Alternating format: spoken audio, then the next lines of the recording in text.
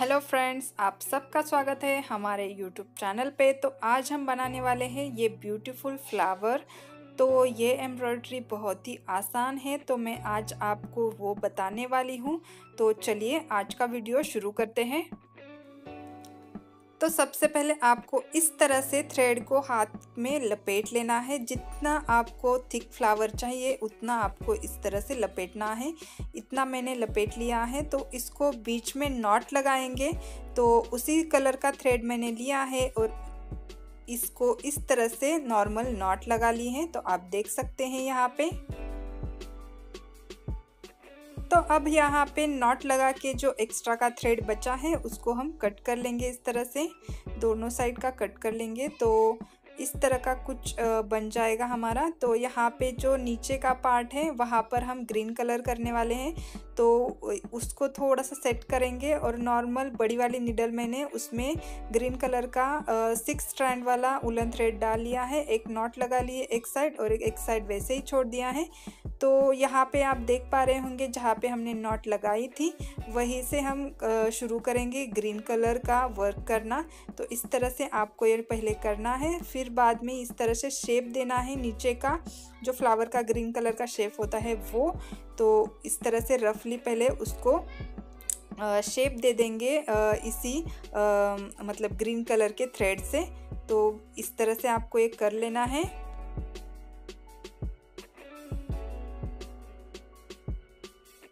तो यहाँ पे आपने देख लिया तो यहाँ पे हमने ये रफली किया है। अब इसे हम फिनिशिंग के साथ करेंगे तो यहाँ पे वैसे ही करेंगे। पर ज़्यादा क्लोज हम थ्रेड को इस तरह से लगाएँगे। तो इस तरह से हमें एंड तक करना है, नीचे तक।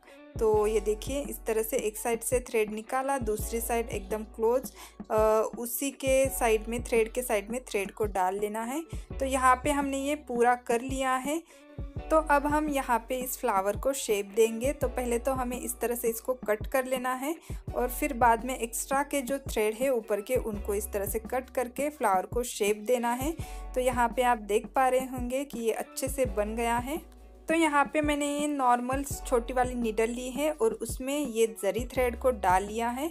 तो यहाँ पे हम इसके ऊपर जरी का वर्क करेंगे थोड़ा सा तो इस तरह से हमें तिरछे धागे को इस तरह से डाल लेना है। तो इसी तरह से हमें एंड तक करना है। थोड़ा थोड़ा गैप छोड़कर इस तरह से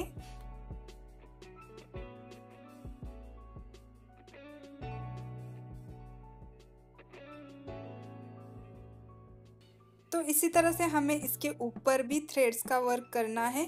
तो ये यहाँ पे किया है हमने, पर ये हमने एक थ्रेड ऊपर, एक थ्रेड नीचे इस तरह से किया है तो ये लॉक हो गया है, वो निकलेगा नहीं, इस, इसलिए हमने इस तरह से किया है। तो यहाँ पर ये हमारा फ्लावर तैयार है, आप देख पा रहे होंगे।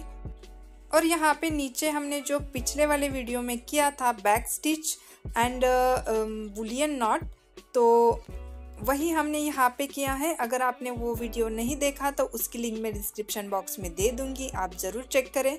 तो यहाँ पे हमारे ये ब्यूटीफुल फ्लावर बन के तैयार है। तो आज का वीडियो अगर आपको अच्छा लगा हो तो चैनल को लाइक शेयर और सब्सक्राइब ज़रूर करें। कमेंट भी करें और बेल आइकॉन भी ज़रूर दबाएँ। इसी तरह के वीडियोस के नोटिफिकेशन के लिए। तो चलिए मिलते हैं अभी नेक्स्ट वीडियो में। तब तक के लिए bye and take care friends